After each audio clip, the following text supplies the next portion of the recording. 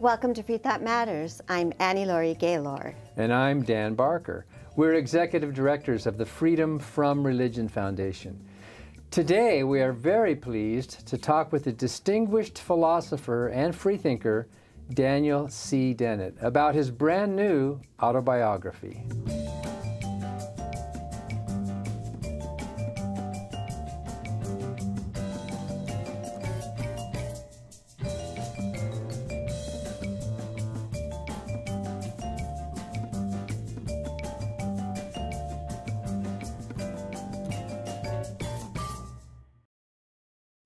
Freedom from Religion Foundation, which produces Free Thought Matters, is the nation's largest association of free thinkers. That's atheists, agnostics, and other non believers.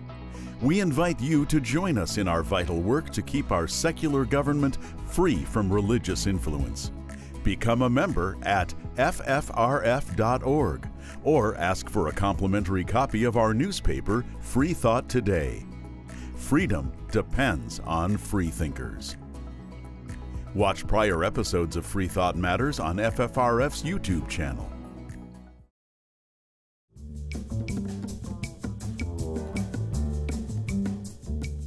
What's it like to devote your entire life to philosophy?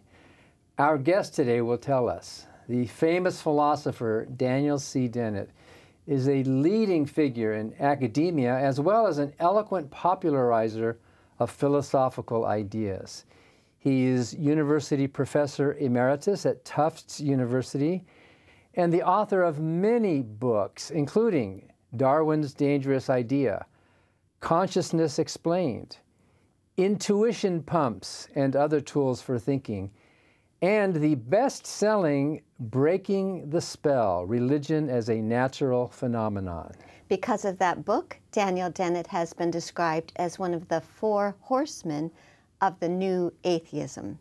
And Dan Dennett has received FFRF's Emperor Has No Clothes Award and is an FFRF honorary director who's also studied the phenomenon of clergy losing their religion in the pulpit. Daniel Dennett's newest book, just out, is the autobiography called I've Been Thinking. And what a great title for a life of philosophy. Welcome back to Free Thought Matters, Dan Dennett. Delightful to be back with you, and, and thank you. Uh, yeah, I thought that title when it hit me, I thought, oh, that's perfect. That's what I want. well, that's what you have been doing. So I love your book. It's a fascinating read, sort of behind the curtain about a life in philosophy. Is, is this a painting on the front cover? It is. It's a painting by an Italian portrait painter named Luca Del Baldo. He's a lovely man. And he did it from a photograph that my wife took of me a few years ago. Well, your book is just uh, a fun for people who like to think. And I was surprised, uh, many places in your book, uh, you, you say that you've enjoyed a very lucky life and a happy life. And I'm guessing you wouldn't call that fate, but, but what is luck? Is luck maybe a kind of determinism? Luck is a good topic. It's it's a it's a tricky one, and philosophers have have stumbled over it. I think again and, and again. Um, uh, my favorite way of getting people to see what luck isn't is to imagine a little uh, coin tossing calling tournament. Suppose we were to decide to settle the the Ukrainian war by having a coin toss between, uh, uh, say, us and and and, the, and Russia, and we send our representative, they send theirs. Uh, somebody might say, "Well, look, let's have a, a coin tossing tournament, an elimination tournament, and the person who wins will have will have won. I don't know, and have to figure out the powers of two. Uh, two to the thirtieth We'll have we'll have won 30 coin tosses in a row without a loss. Surely that's the person to send to uh, to Russia to represent us. No, that's just bad thinking. Luck doesn't work that way. Uh, uh, it doesn't accumulate. Luck has no memory. The idea that some people are lucky is it's a fact that one has to treat very gingerly. Um, because your luck may change tomorrow. Well, you say you say you've lived a very lucky life, and it looks like you have. However, it wasn't very lucky, was it, that your father was killed? Your father was the first CIA, CIA agent to be killed on duty. We talked with your sister Charlotte about that on one of our shows. So, Yeah. so that must have impacted your life in a very big way. It did. It did. I uh, I loved my dad. I was only five years old when he died, but I was I just adored him, and we had some wonderful adventures together. So it was a big blow. Uh, but um, my mother and my sisters and I carried on, and he had many wonderful friends who helped her and us in, in ways uh, too numerous to mention. A few of them get discussed in the book. Yeah. But otherwise, why why do you say you're lucky? I was thinking the other day of all the people that have been alive during my life that I really would like to get to know or, or talk with and learn from. You know, how many of them have I actually met and know? And the answer is almost all of them. If I uh, think, okay, who do I really regret never having, you know, had lunch with or, or shaking his or her hand? There are a few. Uh, um, uh, Nelson Mandela comes to mind, and I would love to have had a meal with Nelson Mandela. Um, uh, Barack Obama is another. Um, well, maybe that will still happen. that could, yes. With with Who knows? luck. With luck. With luck, with luck, will happen. Yeah. Well, so you're not just a philosopher. I didn't realize that you're also a musician and an artist. Do you still play jazz piano and make sculptures?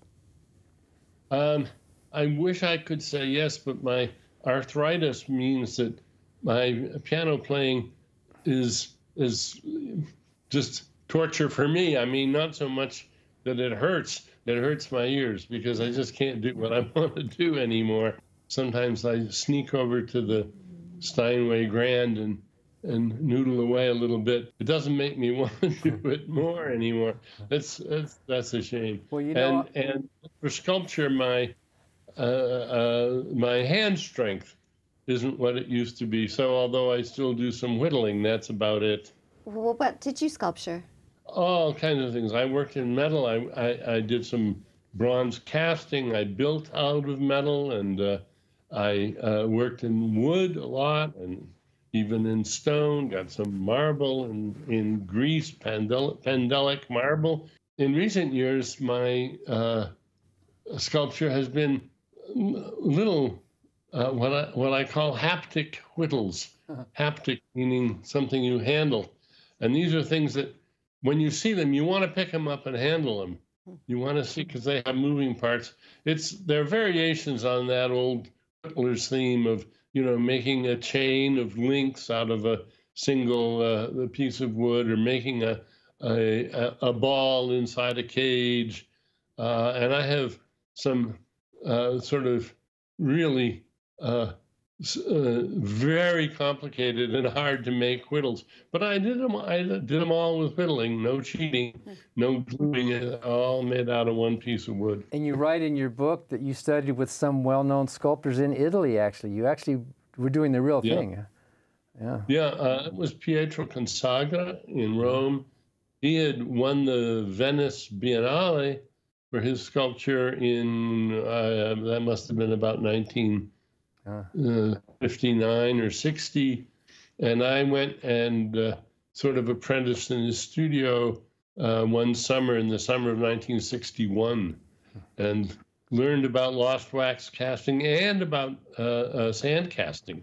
He, most of his works were sand cast in those days, and I actually got to work on on some of them with him. In a sense, supervise the casting in the foundry, which was uh, one of my favorite adventures. So, do you think philo- your philosophy is like sculpting ideas? Oh yeah, and, and and I've said as much in Elbow Room, my first book on free will. I uh, I said that my method was sculptural.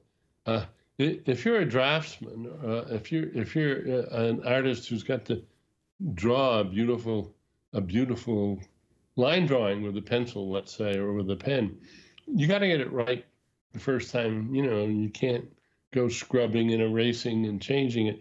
But if you're a sculptor, you can nibble away until you rough it out. And that's the way I've done philosophy all my all my life. I I I don't rush in with a big definition. I go around and turn it over in my head and look at different sides and nibble away and find little bits that are promising. And so, yeah, it's, it's been very, and it's been self conscious. I, I've always recommended this method of philosophy. And uh, uh, it means that, uh, uh you know, for one thing, you don't tend to get a sort of writer's block or thinker's block that some philosophers get.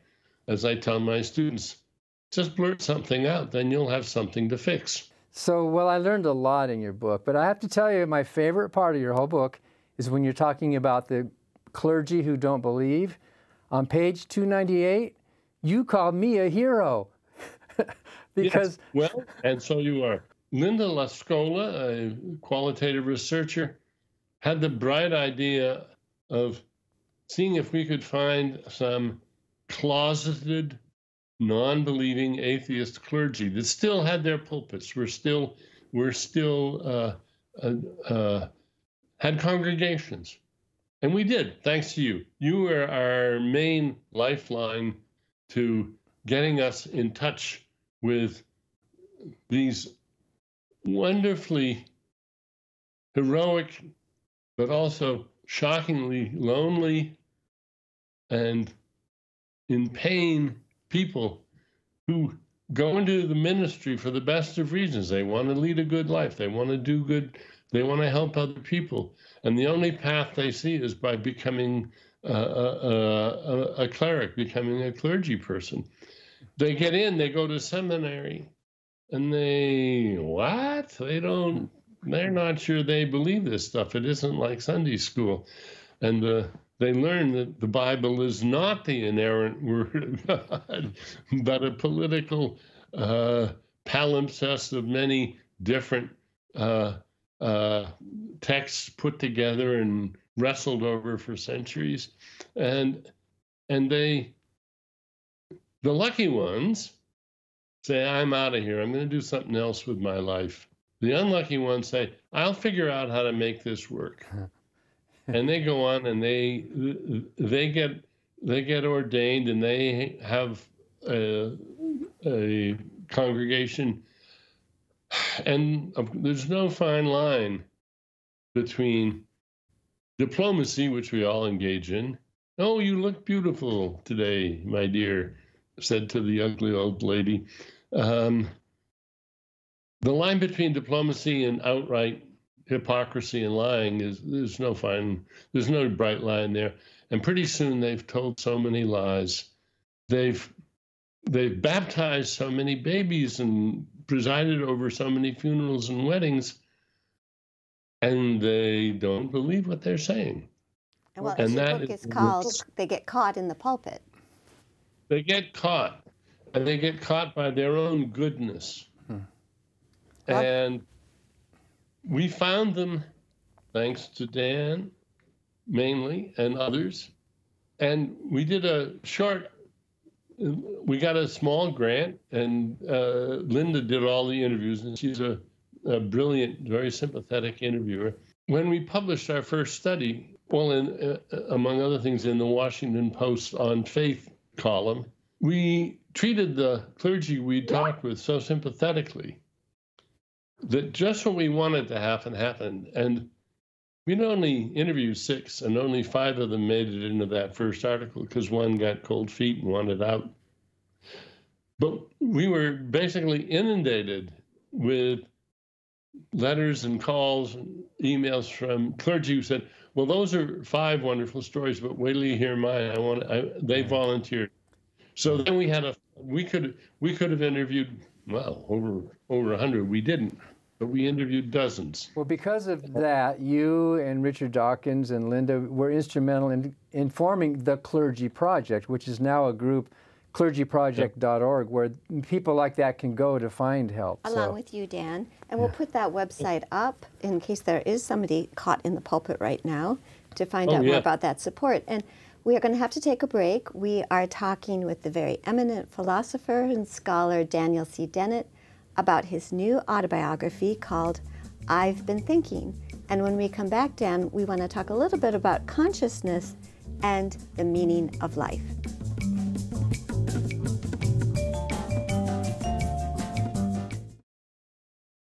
Hi, I'm Ron Reagan, an unabashed atheist. When I first recorded that commercial back in 2014, being openly atheist in America was still fairly uncommon. Today, the fastest growing religious group in the country is the non religious, especially among the young. That progress is heartening, but the religious pushback is fierce and the forces of Christian nationalism are well organized. Our progress won't continue unless we work together so that reason and our secular constitution will prevail. That's why I'm asking you to join the Freedom from Religion Foundation, the nation's largest and most effective association of atheists and agnostics working to keep state and church separate, just like our founders intended. Please join the Freedom from Religion Foundation today. Ron Reagan, lifelong atheist, not afraid of burning in hell. My name's Jarvis, and I'm an out of the closet atheist. There are many reasons why I'm an atheist, but I'll start with the crudest explanation. I'm sure many of you have seen Clash of the Titans or The Immortals or 300, these blockbuster films about ancient Greek or Roman religion, which we now call mythology. But back then it wasn't mythology. It was very real for them. They genuinely believed that you had to put a coin in a person's mouth before they were buried so that they could pay for the literal ferry to the afterlife. Just as many people today believe that they should eat crackers and wine on a Sunday or that God wants women to hide their bodies under black burqas. Every religion that has ever existed, and there are many, have all believed that they were right, that their rituals and rules and beliefs were 100% correct. And they all thought they nailed it. But where are they today? Uh, if they're not completely forgotten, they're on the silver screen, amusing us with their sword fights, animal sacrifices, and oracles. The religions of today are the entertainment of tomorrow. Everyone, I hope, is an atheist about Zeus and Apollo, Juno and Poseidon. I just added Jesus and Muhammad to that list.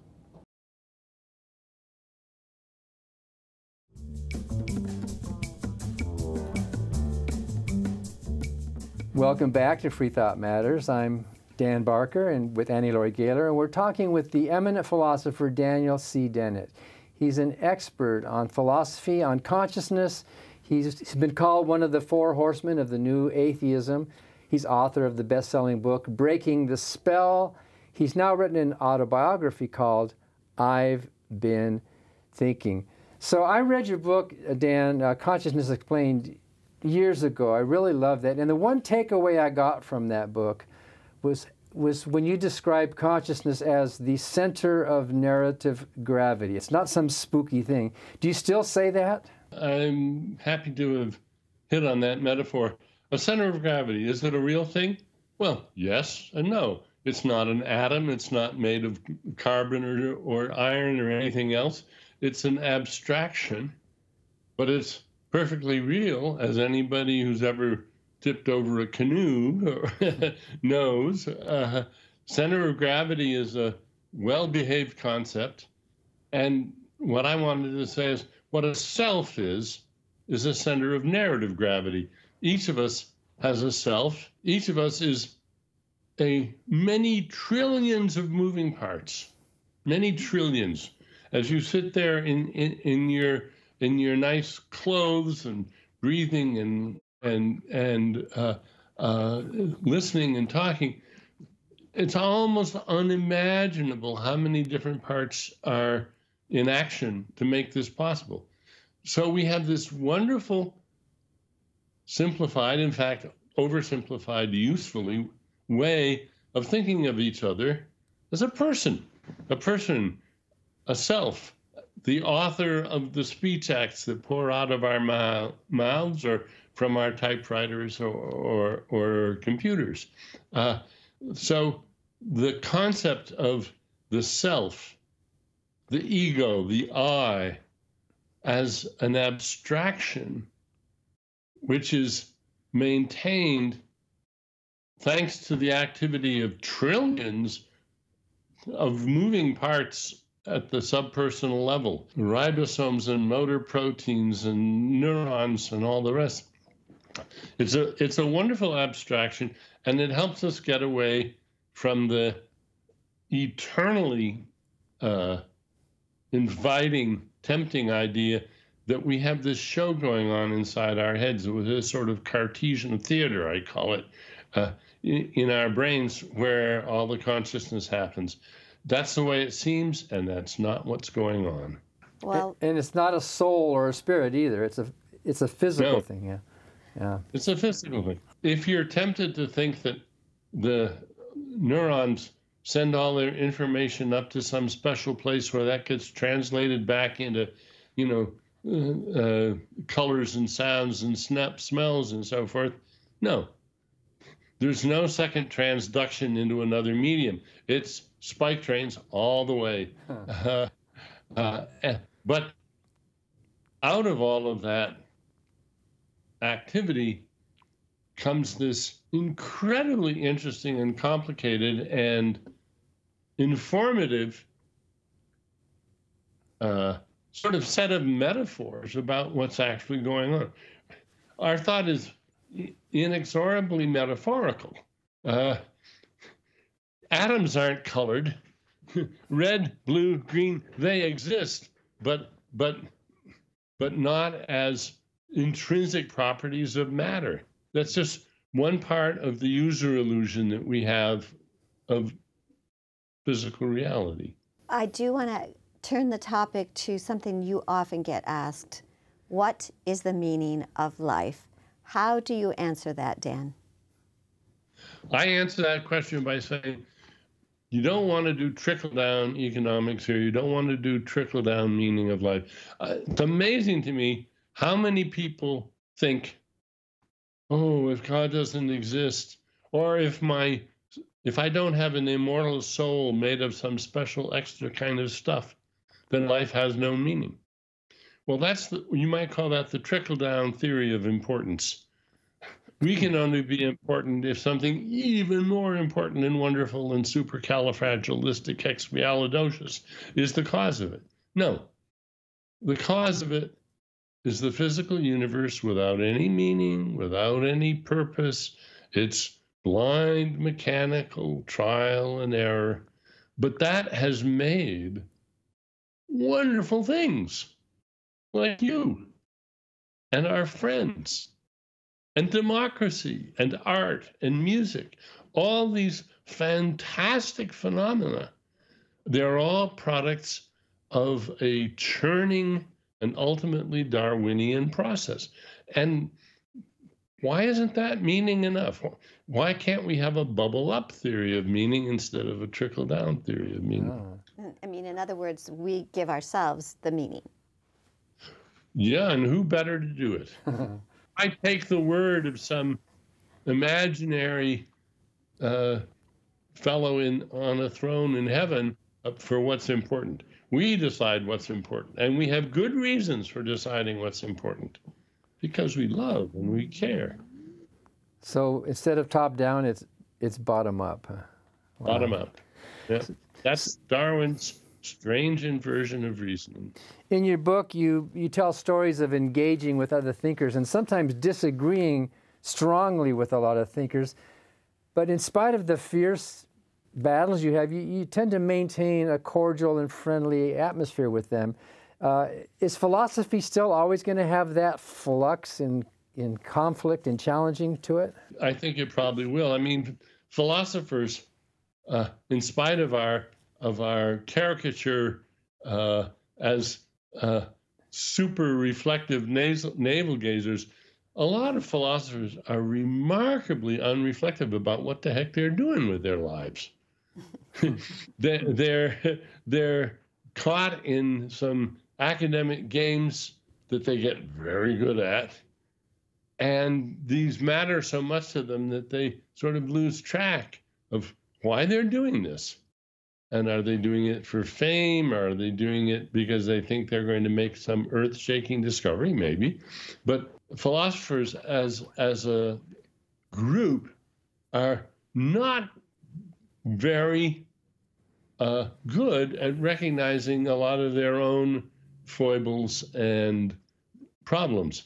Uh, and I'm sure that's true of me too. Uh, there's uh, lots of things that I can gloss over. Mistakes that I make, weaknesses that I have that I don't really uh, uh, fully uh, vow up to and, and, and, accept. Well, we only have a minute left, so this isn't really fair, but how do you describe your moral philosophy? How do you know what is right and wrong? Well, I think I just had a good upbringing in school. I, I, I, I learned the importance of not telling lies and being honest and being being gentle with people and not not being overly aggressive or mean. And uh, I've made plenty, and of course, I've made plenty of mistakes. And even more important, I've been helped by my friends not to make some really bad mistakes. There's nothing like a good friend to stop you in your tracks and say, hang on, hang on, Dan. You're about to make a really bad mistake.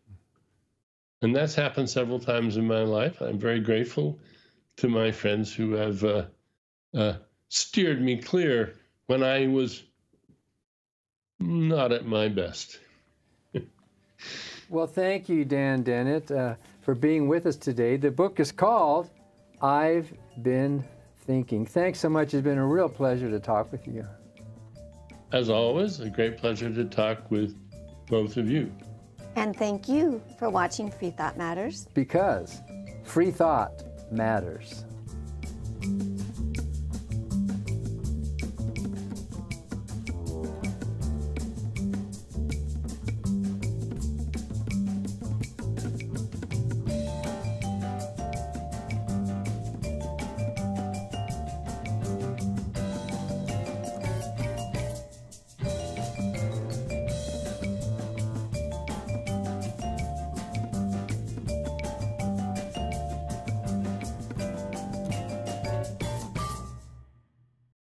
Hi, I'm Steve Pinker. In my book, Enlightenment Now, I show that the world has become a better place as reason has been overcoming superstition and tribalism. But the values of the Enlightenment are under attack. That's why I'm a proud member of the Freedom from Religion Foundation, the nation's largest association of free thinkers working to keep state and church separate. Please join me in supporting the Freedom from Religion Foundation to ensure that our government is driven not by religion, but by reason.